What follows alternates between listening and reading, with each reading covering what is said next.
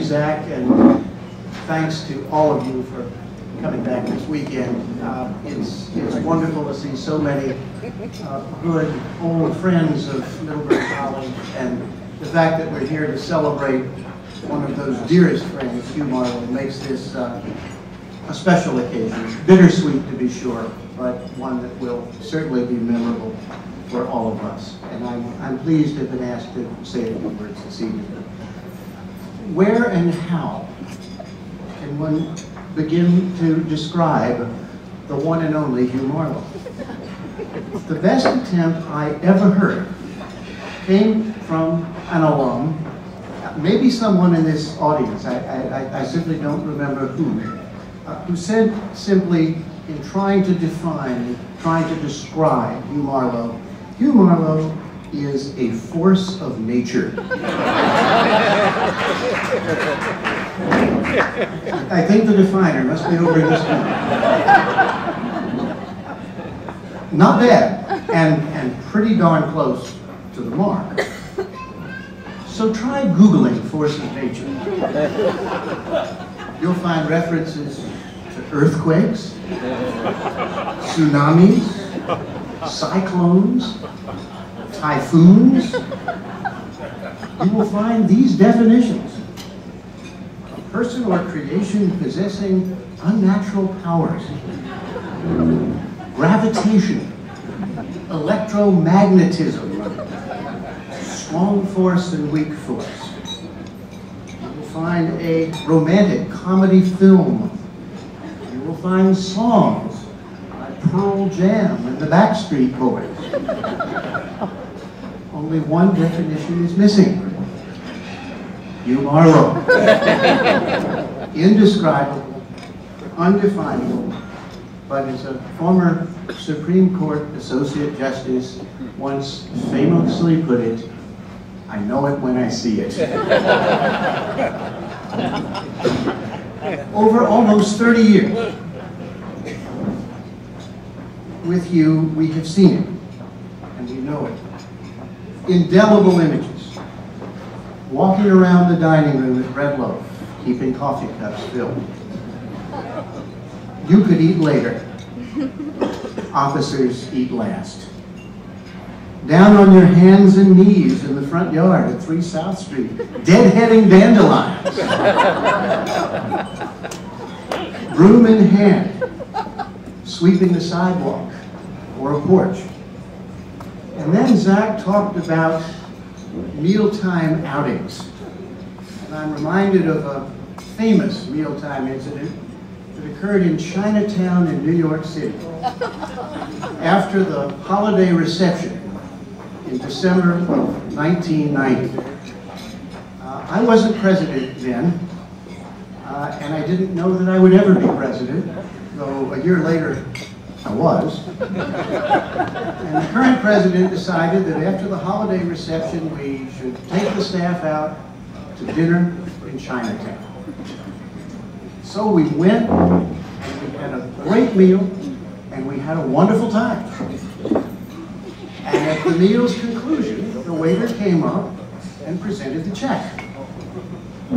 And the president, being gracious and generous and magnanimous, reached into his wallet and pulled out a credit card and said, I'll take care of this. And we were all exceedingly grateful until the waiter said, I'm sorry, sir, we don't take credit cards. Oops. Well, what to do? Um, we all looked around, how much do you have in your wallet? Well, how much do you have in your, no, we added it up. to the rescue came Hugh Marlow, briefcase full. this is no lie. of the proceeds from the alumni reception.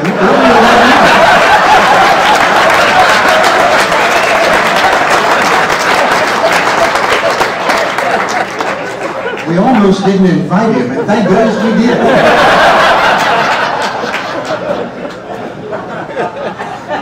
Waiter was only somewhat nonplussed as Hugh reached into the briefcase and, briefcase and took out a wad of cash sufficient to keep the higher administration at Middlebury from having to wash dishes for the rest of the night.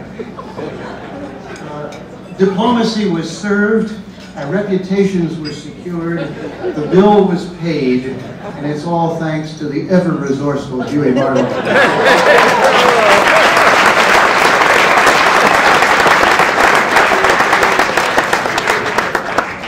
Hugh has been the official presence at weddings and funerals and occasions beyond measure where the Middlebury College extended family has gathered in moments of joy and sadness and moments like this which partake of both.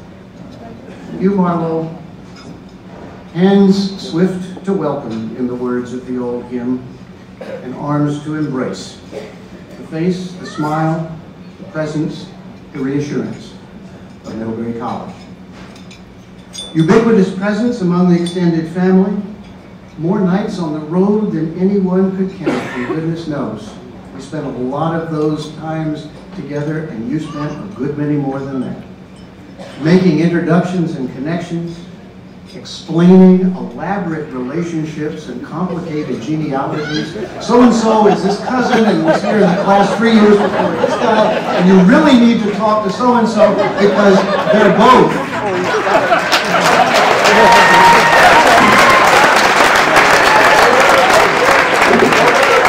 And before you leave, you need to speak to that guy over there because he's doing what we, we've all seen. Force of nature in action. Not a fundraiser, but a consummate friend raiser. And a great sense of humor. One evening after a successful event in California, uh, the spouse of our alumni host, uh, clearly uh, at least exhausted after a long evening of meeting and greeting, offered this apparent malaprop. You, he said, if I've learned anything in life, it's that money can't buy loneliness.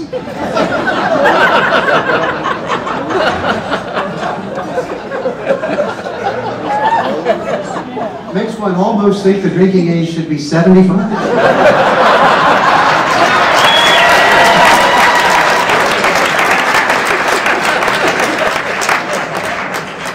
So it is hangdog expression. Money, money can't buy loneliness. Well, we, we both sat there just chortling, uh, not sure whether the speaker meant to make a joke or offer a complaint. but we both agreed to file the aphorism away, and at long last I found an occasion to use it.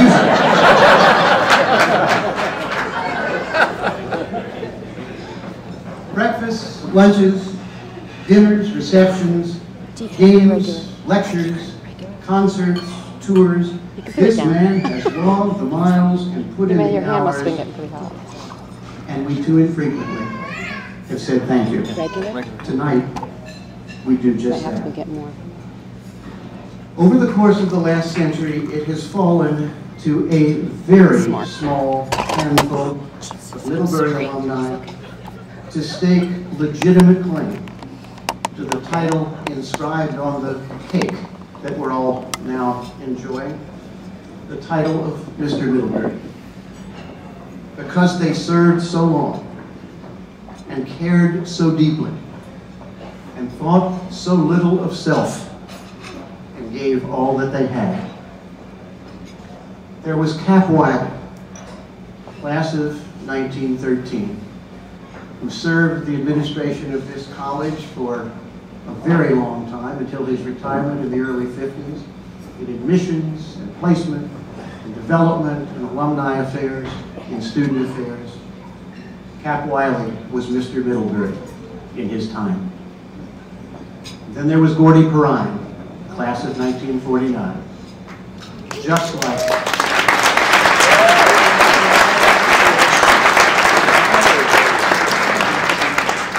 He filled those shoes in the same way. Gordy held just about every job there was at Middlebury College.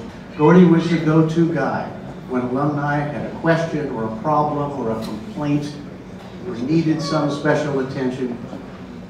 The president was an interesting person to talk to. Gordy was the guy they called.